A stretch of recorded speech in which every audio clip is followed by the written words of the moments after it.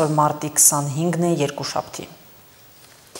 Վրաստանի վարչապետ Իրակլի Կոբախիձեն պաշտոնական այցով ժամանել է Երևան։ Զվարթնոց օթանավակայանից Վրաստանի վարչապետը այցելել է Ծիծեռնակաբերդ, հարգանքի տուրք մատուցել եւ ծաղկեպսակ դրել հայոց ցեղասպանության զոհերի հիշատակը հավերժացնող հուշահամալիրին։ Վարչապետ Նիկոլ Փաշինյանը ընդունել է Իրակլի Կոբախիձեին առանձնազրույցից հետո երկու երկրների վարչապետները հանդես են եկել հայտարարություններով։ Այսօրվա հանդիպման ընթացքում գործընկերոջս եմ ներկայացնել նաև տարածաշրջանային գործընթացների վերաբերյալ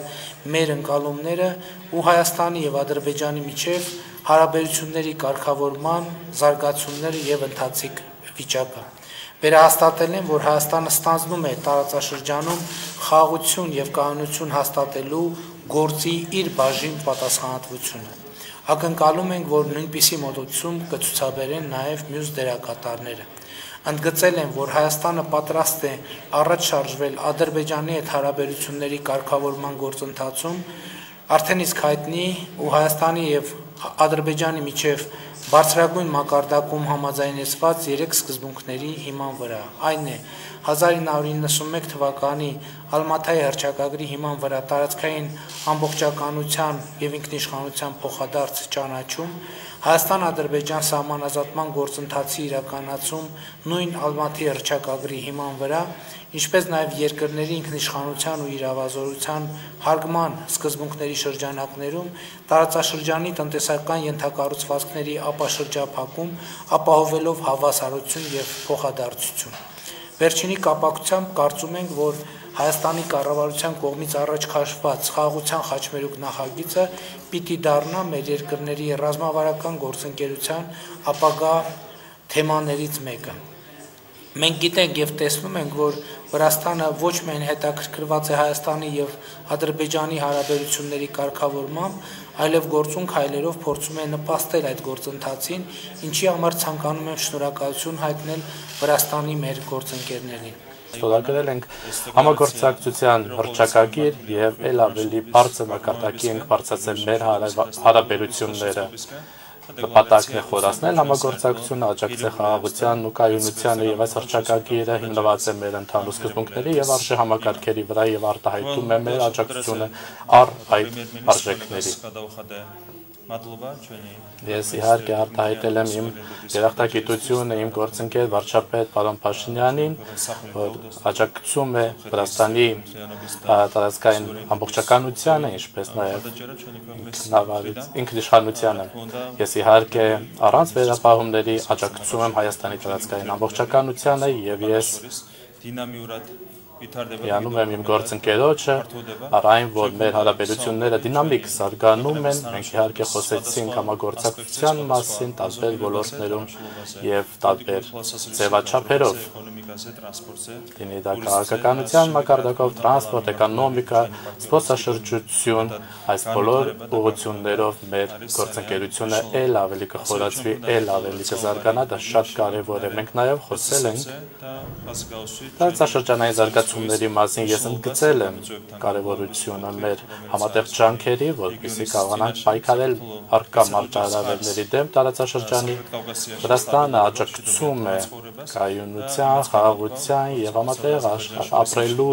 ջանքերին Հարավային Կովկասում եւ մենք իսկապես հուսով ենք, որ Հայաստանի եւ Ադրբեջանի միջև խաղաղության համաձայնագիրը կստորագրվի եւ շոշափելի համաձայնագիր կլինի եւ Վրաստանը պատրաստ է դրականորեն այդ գործընթացին աջակցել եւ նպաստել խաղաղության եւ կայունության հաստատմանը տարածաշրջանում Հայաստանի ազգային ժողովի նախագահ Ալեն Սիմոնյանի գլխավորած պատվիրակությունը Ժնևում մասնակցել է միջխորհրդարանական միության 148-րդ վեհաժողովի բացման արարողությանը։ Վեհաժողովի հիմնական ուղղվածությունը խորհրդարանական դիվանագիտություն, կամուրջների ստեղծում հանուն խաղաղության եւ փոխմբռնման խորագրով քննարկումն է։ Ազգային ժողովի նախագահ Ալեն Սիմոնյանը վեհաժողովի շրջանակում հանդես է եկել ելույթով։ Տիկնայք եւ պարոնայք Նախքան ելույթը սկսելը ցանկանում եմ նշել, որ մենք խստորեն դատապարտում ենք Մոսկվայում տեղի ունեցած ահաբեկչությունը, որը բազմաթիվ կյանքեր խլեց։ Ցավակցում եմ զոհվածների հարազատներին, իսկ վիրավորներին մաղթում շուտապույտ ապակինում։ Ուրախ եմ ողջունել ձեզ Ժնևում 5 տարվա ընդմիջումից հետո եւ հուսով եմ, որ միջխորհրդարանական միության վեաժողովի շրջանակում քննարկված հարցերը կնպաստեն խաղաղությանը, անվտանգությանը եւ կայունությանը, որոնց ձգտում է կազմակերպությունը։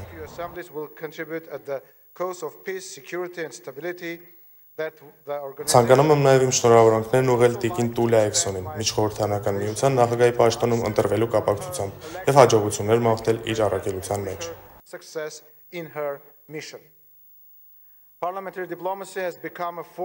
Խորհրդարանական դիվանագիտությունը միջազգային հարաբերություններում դարձել է ուժ։ Այն պետությունների միջև ավելի ամուր հարաբերություններ է խթանում միջխորհրդարանական երկխոսության մտքերի փոխանակման եւ համագործակցության միջոցով։ Այդ օրինակ ջանքերը նպաստում են երկրների միջև վստահության, փոխընդրման եւ համագործակցության ձևավորմանը։ Վերջերս շատ է խոսվում փափուկ ուժի մասին։ Այդ կապակցությամբ ուզում եմ նշել, որ խորհրդարանական պատվիրակությունները եւ մտքերի փոխանակումը նպաստում են հանրային դիվանագիտության ջանքերին, ամրապնդելով երկրի փափուկ ուժը։ Օտարերկրյա գործընկերների հետ համագործակցելով խորհրդարանականները կարող են ձևավորել հասարակական կարծիք արտերկրում, ստեղծել ցանցային համագործակցություն եւ արտերկրում իրենց երկրի համար դրական կերպար կերտել։ The Armenian National Assembly under the Հայաստանի ազգային ժողովը իմ ղեկավարությամբ կարևորում է խորհրդարանական դիվանագիտությունը։ Հայ падգամավորները ներգրաված են տարբեր միջ խորհրդարանական վեհաժողովներում, համագործակցում են իրենց գործընկերների հետ, ամուր կապեր ստեղծելու եւ փոխըմբռնումը խթանելու նպատակով։ Մենք падգամավորներս անում ենք հնարավորը խաղաղ գործընթացին նպաստելու համար։ Տարածաշրջանի անվտանգությունը եւ պաշտպանական կարողությունների զարգացումը Հայաստանի համար առաջնահերթություններ են։ Մեր երկիրը ձգտում է վերականգնել տարածաշրջանային տարանցիկ ճանապարհները ու յենթակառուցվածքները։ Հայաստանի կառավարության կողմից մշակված խաղաղության խաչմերուկ նախագիծը կարծում ենք կաշխուժացնի տնտեսական կապերը տարածաշրջանում եւ դրական ազդեցություն կունենա անվտանգային ընդհանուր իրավիճակի վրա։ Որպես խորհրդանական դիվանագիտության վառ օրինակ կցանկանայի նշել միջխորհրդանական միության գլխավոր քարտուղար պարոն Մարտին Չունգոնգի վերջերս Հայաստան ու Ադրբեջան կատարած այցերը, որոնց նպատակն էր հասկանալ իրավիճակը հարավային Կովկասի տարածաշրջանում։ Իր այցից հետո գլխավոր քարտուղարն առաջարկեց կազմակերպել երակողմ հանդիպում իր, իմ եւ Ադրբեջանի խորհրդարանի նախագահի միջև։ Հանդիպումը տեղի ունեցել մարտի 22-ին այստեղ Ժնևում։ Գործընկերներ, հնարավոր է տեղյակ չեք, որ 2024 թվականի սեպտեմբերի 12-ից 14-ը Հայաստանի մայրաքաղաք Երևանում տեղի կունենա երիտասարդ խորհրդարանականների 10-րդ գլոբալ համաժողովը։ Օգտվելով առիթից ցանկանում եմ երիտասարդ падգամավորներին հրավիրել մասնակցելու համաժողովին։ Այն նրանց հնարավորություն կտա անձամբ ծանոթանալ եւ տեղեկանալ մեր գեղեցիկ երկրի մասին ու խորացնել իրենց միջև հաստատված կապերը խորհրդարանական դիվանագիտության իրական ոգով։ Շնորհակալություն։ Հայաստանի արտաքին գործերի նախարարությունից հայտնում են, որ մարտի 22-ին Մոսկվայում տեղի ունեցած ահաբեկչության հետևանքով զոհվածների թվում կա մեկ Հայաստանի Հանրապետության քաղաքացի։ Նշենք, Ռուսաստանի Դաշնության քնչական կոմիտեի վերջին տվյալներով ահաբեկչության հետևանքով զոհվել է 137 մարդ։ Միջազգային կարևոր լուրերը ներկայացնենք տեսաշարով։ Մոսկվայի Բասմանի շրջանային դատարանը Crocus City Hall համերգասրահում տեղի ունեցած ահաբեկչությունն իրագործող 4 կասկածյալների նկատմամբ որպես խափանման միջոց է ընտրել կալանավորումը 1 ամիս 28 օրով մինչև մայիսի 22-ը։ Բոլոր 4 կասկածյալները, որոնք մեղադրվում են ահաբեկչություն իրականացնելու մեջ, Տաջիկստանի քաղաքացիներ են, որոնք ապրում են Ռուսաստանում։ Ըստ դատարանի հրապարակած տեղեկությունների նրանցից երկուսն իրենց մեղավոր են ճանաչել։ Մարտի 22-ին տեղի ունեցած ահաբեկչության զոհերի թիվը հասել է 137-ի, 182 մարդ վիրավոր է։ Զոհերի թվում կա Հայաստանի մեկ քաղաքացի։ Crocus City Hall-ի շենքից ավելի քան 5000 մարդ է տարհանվել։ Աբեկչության պատասխանատվությունը ստանձնել է Իսլամական պետություն աբեկչական խմբավորումը։ Մեր Մոսկովյան Crocus City Hall համալիրում աբեկչություն կատարելու համար մեղադրվողներից մեկը Շամսիդին Ֆարիդունին Instagram-ում Ստամբուլից լուսանկարներ է հրապարակել։ Հրապարակումների թվում կան նաև մեղադրյալի լուսանկարները, որոնք արվել են Ֆաթիհ մզկիթում։ Ֆրանսիայի իշխանություններն աբեկչական սպառնալիքի մակարդակը բարձրացրել են ամենաբարձրի, կապված մերս Մոսկովյան Crocus City Hall-ում տեղի ունեցած ահաբեկչության հետ, հայտարարել է վարչապետ Գաբրիել Աթալը։ Որոշումն ընդունվել է Ելիսեյան պալատում ազգային պաշտպանության եւ անվտանգության խորհրդի նիստում, որը հրավիրել է նախագահ Էմանուել Մակրոնը։ Հաշվի առնելով այն հանգամանքը, որ իսլամական պետությունը ստանձնել է հարցակման պատասխանատվությունը եւ մեր երկրի արչեւ ծառացած սպառնալիքները, մենք որոշեցինք ահաբեկչական սպառնալիքի մակարդակը բարձրացնել մինչեւ ամենաբարձր բարձր է։ Հարցակման շտաբ սպառնալիք, գրել է Աթալը X սոցիալական ցանցում։ Ռուսաստանը շարունակում է հարձակումները ուկրաինական էներգետիկ օբյեկտների վրա մարտի 25-ի գիշերը հարվածներ են հասցվել Նիկոլաևի եւ Օդեսայի շրջաններին, հայտնել են Ուկրաինայի հարավային պաշտպանության ուժերը։ Կիրակի գիշերը Ռուսաստանի զանգվածային հարձակումներից հետո Լեհաստանի իշխանությունները հայտնել են, որ հրթիռներից մեկը հատել է երկրի օթային տարածքը։ Լեհաստանի զինված ուժերի օպերատիվ հրամանատարության ներկայացուցիչ Յացեկ Կորիշևսկին պարզաբանել է, որ ռուսական հրթիռը չի խոցվել, քանի որ պարզ է դարձել, որ այն կլեքի Լեհաստանի օթային տարածքը եւ այն խոց ստեղծելու փորձն ավելի մեծ վտանգ կներկայացներ տեղի բնակիչների համար։ Ուկրաինայի նախագահ Զելինսկին իր երեկոյան ելույթում ասել է, որ վերջին շաբաթվա ընթացքում ռուսական զորքերը Ուկրաինայի դեմ օգտագործել են տարբեր տեսակի գրեթե 190 հրթիռ եւ գրեթե 140 անօթաչու թռչող սարք, ինչպես նաեւ գրեթե 700 կառավարվող ռումբ։ Իսրայելը երեք կրկին շարունակել է ռազմական գործողությունները Գազայի հատվածի ամենամեծ բժշկական հաստատությունում Ալ-Շիֆա հիվանդանոցում։ Գիշերը Reuters-ը վկայակոչելով Իսրայելի պաշտպանության բանակի տվյալները հայտնել է ավելի քան 170 զինյալի սպանության մասին։ Ռազմական հարձակումը հանգեցրել է նաև 5 հիվանդի մահվան, պարզաբանել է Reuters-ը։ Բացի այդ, իսրայելցի զինվորականները ձերբակալել են շուրջ 480 ահաբեկիչների, որոնք կապ ունեն Համաս եւ Իսլամական ջիհադ կազմակերպությունների հետ։ Հիվանդանոցում հայտնաբերվել է նաև զենքի պահոսներ, հայտնել է Իսրայելի պաշտպանության բանակը։ Իսրայելը համաձայնել է Համասի հետ գերիներին ու պատանդներին փոխանակելու ԱՄՆ առաջարկին եւ սպասում է խմբավորման պատասխանին, հայտնում է CNN-ը։ CNN-ը պարզաբանում է, որ Իսրայելը համաձայնել է ԱՄՆ կենտրոնական հետախուզական վարչության տնօրեն Բիլ Բըրնսի ներկայացրած առաջարկին։ Այն ենթադրում է մոտ 700 պաղեստինցի բանտարկյալների ազատ արձակում, այդ թվում 100 ցմա ազատազրկվածի, ովքեր մեղադրվել են Իսրայելի քաղաքացիների սպանության համար 40 իսրայելցի պատանդների ազատ արձակման դիմաց։ Պատվիրակությունները սպասում են Համասի պատասխանին։ Ավելի վաղ Դոհայում էր գտնվում իսրայելական պատվիրակությունը Մոսադի հետախուզության տնօրեն Դեյվիդ Բարնիայի գլխավորությամբ, որն անուղակի բանակցություններ էր վարում Համասի հետ։ Միջնորդներն են ԿՀՎ ղեկավար Ուիլյամ Բերնսը, Եգիպտոսը եւ Քաթարը։ Մարտի 24-ի գիշերը Իսրայելի պատվիրակությունը վերադարձել է հայրենիք։ Ալլա Ղալաչյան, Հորիզոն։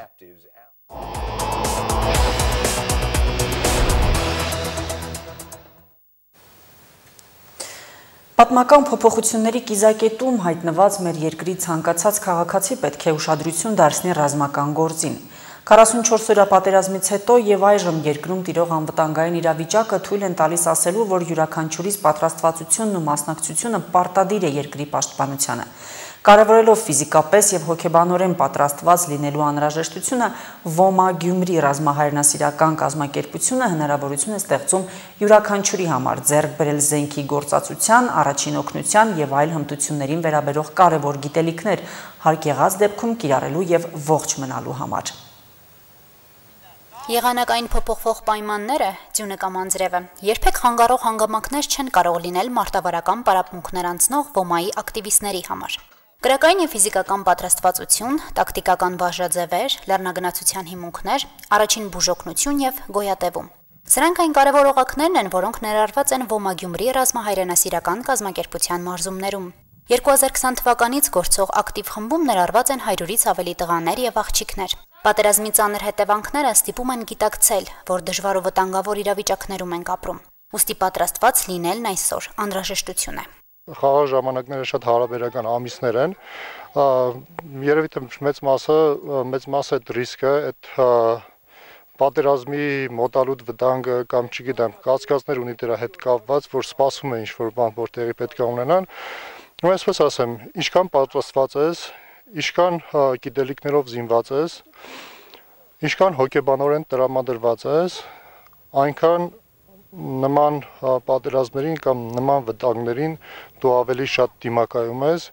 Մարտի դաշտում միայն զենքին տիրապետելը բավարար չէ։ Կյանքեր փրկերն ավելին արժե։ Յուրաքանչյուր զինվոր նույնքան լավ պետք է տեղյակ լինի առաջին բուժօգնության տարական կանոններին, ունենա անհրաժեշտ բժշկական պայուսակ, համապատասխան պարագաներով, ճնշող վիրակապեր, լարաններ, մկրատ եւ այլն։ Կոտրվածքների այրոնահոսության վիրավորումների ժամանակ իրեն եւ ընկերոջը ճիշտ եւ գրագետ օգնություն ցուցաբերելու համար մարդը անընդհատ ուզում է որ ազատվի դրանից բայց իհարկե կյանք ավելի թանկ է քան վերջույթը հա բոլորիս նպատակը կյանքը կենսական կարևոր հեղուկը մեջը պահել իսկ դա էլ այրունն է Առաջին բուժօգնության կանոններին միայն պատերազմական իրավիճակներում չէ, որ պետք է դիրապետել, այլ նաև կենցաղում։ Ակտիվ խմբի մասնակիցները մարզումների ժամանակ ծանոթանում են լեռնագնացության հիմնական հիմունքներին, անվտանգության կանոններին, անհրաժեշտ գործիքներին, որոնք պետք են ցանկացած խմբի կամ զորամիավորման տեղաշարժը ապահովելու համար։ Կոփվում են, սովորում ճիշտ գործածել դրանք արդեն բարձր լեռնային պայմաններում եւս։ Շատ կարևոր է, կարծում եմ, նաև բանակում ժամանակի ընթացքում պետք է անհրաժեշտություն է ներկայացվել, հա, այս ամբողջ գիտելիքները, քանի որ լեռնային երկրում չկարողանալ լեր բարձրանալ, կարծում եմ մի քիչ այնքան էլ ճիշտ չէ, այսինքն եթե չունենք այս գիտելիքները, հա, մենք ստիպված պիտի լերը շրջանցել, որ շրջանցենք, որը ինչպես կարող է բերել ժամանակային խնդրի, այնպես էլ անվտանգային խնդրի, 16 տարեկանից բարձր յուրաքանչյուր ցանկացողի համար մասնակցությունը բաց է։ Այստեղ եկողները չեն նայում ոչ ռազմարվեստից շատ հեռու ունեցած իրենց մասնագիտությանը, ոչ պարապմունքի վայրից եղած հեռավորությանը, ոչ էլ ֆիզիկական դժվարություններին։ Զարգանում են եւ ֆիզիկապես, եւ հոգեպես, դառնալով ընտանիք։ Աղջիկների մասնակցությունն էլ փաստում է։ Հայրենասիրությունը սեր չի ճանաչում։ Ոմա Գյումրի արդեն տարուց ավել է ինչ հաճախում եմ այստեղ ոչ միայն ֆիզիկապես եմ կոփվել, այլ նաև հոգեպես, այնպես որ առողջ մարմնում, առողջ հոգի անհրաժեշտ է բոլորին, որպիսի գան սովորեն, կարողանան պաշտպանել իրենք իրենց եւ իրենց հարազատներին։ Ինչը որ մեզ ուժեղացնում է, ուժեղացնի նաև սկսնակներն։ Հիմնական մեր աշխատանքը մեր հոգեբանության վրա է մենք աշխատում ենք մեր հոգեբանության վրա, որովհետեւ խումբը կարողանա ցանկացած խնդրի մոտենա ամուր, կադարելի արժեք եւ վերադառնա տուն։ Եթե թեկուզ առաջնագիծել չգնանք, գոնե թիկունքում մենք կարողանանք մեր հարազատներին, մեր բարեկամներին, կողքիններին ընդամենը պաշտպանենք, որովհետև եթե թիկունքը պաշտպանված չլինի, առաջնագիծը թևաթափ կլինի։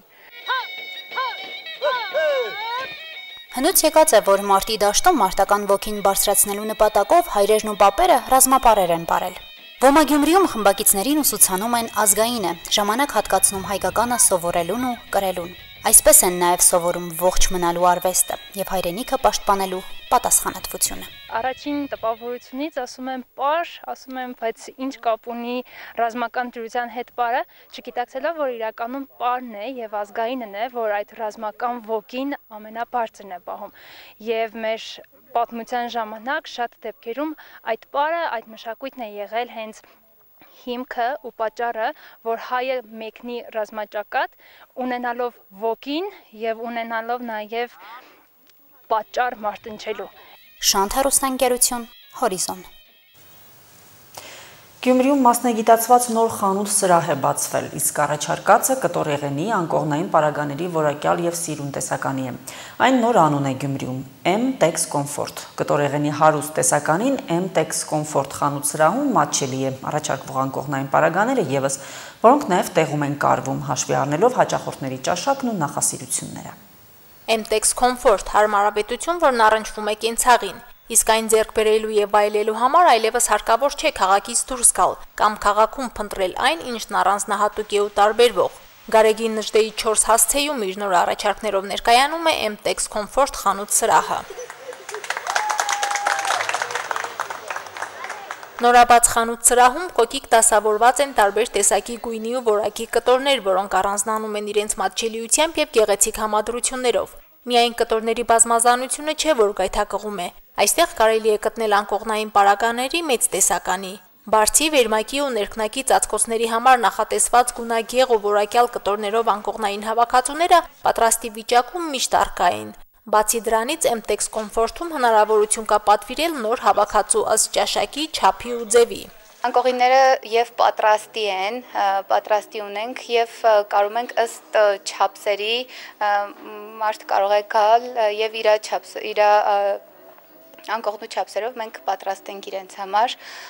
կտորների տեսնականին բազմազան է Մարիամը փորձառու դերցակ մոդելավորող է իր ձեռքի շնորհքին շատերն են քաղաքում ծանոթ։ Երկար տարիների փորձն էլ խթան հանդիսացավ, որ Գյումրիում ստեղծի մի վայր, ուր կներկայացնի կտորեղենի մեծ տեսականի, նուրբ փափուկ գործվածքային ու բոլորն էլ որակյալ։ MTEX Comfort-ում կանայք կգտնեն իրենց ուզած կտորեղենը։ Այստեղ ընտրության հնարավորությունը լայն է։ Վաղուց եմ ես ոլորտում, ուղղակի ուզում եի, որ իմ ստեղծած տեսականին բրենդը հայտնի լինի մեր քաղաքում ու որ իր որակով, բարձր որակով եւ ցածր գնով ավելի հարմար լինի մեր քաղաքի բնակիչներին ու մեծ տեսականի լինի ընտրության համար։ Ես ինքս առնչվում եմ այդ խնդրի հետ, որ հաճախորդը ուզում ուզում է այդ տեսականին ու դու ճունես, չես կարող իրեն իր ցանկությունները ասենք բավարարես։ Դրա համար ես մտածեցի, որ մեր քաղաքում պետքա լինի սենց լավ տեսականի, որ կարողանանք համել ստեղծագործենք։ Հաճախորդի նախընտրությունն ու պահանջարկը այստեղ հաշվի է առնվում դրա արդյունքում էլ սրահի առաջարկած տեսականին աչք շոյող է ու յուրահատուկ։ Մարիամը տեղում է կարում անկողնային տարբերվող հավաքածուներ, այդ թվում նաև մանկական ու նորածնային։ Խոհանոցային սրբիչների տեսականու առաջարկն էլ փոքր չէ։ Բոլորը կարվում են որակյալ կտորից մենք տարբերվում ենք մեր տեսականիով, ստեղծագործում ենք ավելի շատ, այսինքն միայն մի կտորով չենք աշխատում։ Մանկական սայթին է հավաքածու է, մենք այստեղ մեր ճաշակն ենք ավելի շատ ցուցադրում, որ կարող ենք նաև ուղակի ինքն իրանով այս կտորը չկարել եւ ստեղծագործել ուրիշ գույների հետ միասին։ Շատ կթեթևացնի տանտիգինների հոգսերը, որովհետև կգտնեն այն, ինչ որ իրենք շատ ման էին եկել, հա, ու քաղաքից դուրս էին ման եկել։ Հիմա կգտնեն նաև հենց քաղաքում ավելի հեշտ կլինի իրենց հոգսերը կթեթևանա։ Մենք միշտ օգտվել ենք Մարիամի ստեղծագործություններից, եթե կարելի է այդպես ասել, եւ շատ գոհ ենք։ Սա հեշտացնելու է մեր գյումրեցի կանանց առօրյան, ինչու ոչ եւ հեշտացնելու է եւ հաճելիորեն կարող է ամեն ինչ ամեն ինչ կարող են այստեղից օգտվել ինքը Իրանով կարողանում է գովազդել իր աշխատանքը իր մաքրությամբ նրա կարը շատ մաքրամաքուր է ասեմ որ շատ հետաքրքիր նախաձեռնություններ ունի նաև շորերի ձևավորման մեջ որը կօգնի նաև բազմաթիվ կանանց իրենց ճաշակը ձևավորելու եւ փոխանցելու MTEX Comfort-ի դերձակ մոդելավորողի շնորհալի ձեռքերում հին հագուստը նոր ձև ու ոճ է ստանում։ Հենց սրահում գործում է նաև հագուստի վերանորոգման ծառայությունը։ MTEX Comfort-ը նախատեսում է Գյումրիում այլ հասցեներում եւս բացել իր մասնակիտացված խանութ սրահները եւ սրանով իր ծառայությունները հասանելի կդառնան բոլորին։ Ինձ քաջալերեցին, ինձ ուժ տվեցին, որ այս իմ սիրուն միտքը իրագործեմ։ Շնորհակալ եմ լավ ընկերներին, որ իմ կողքն են եղել։ Մարինե Տերբենյան, Արարատ Ծատուրյան, Հորիզոն։ Այժմ լրահոսն այսպեսին էր, նորությունների սպասեք մեր հաջորդ թողարկումներում։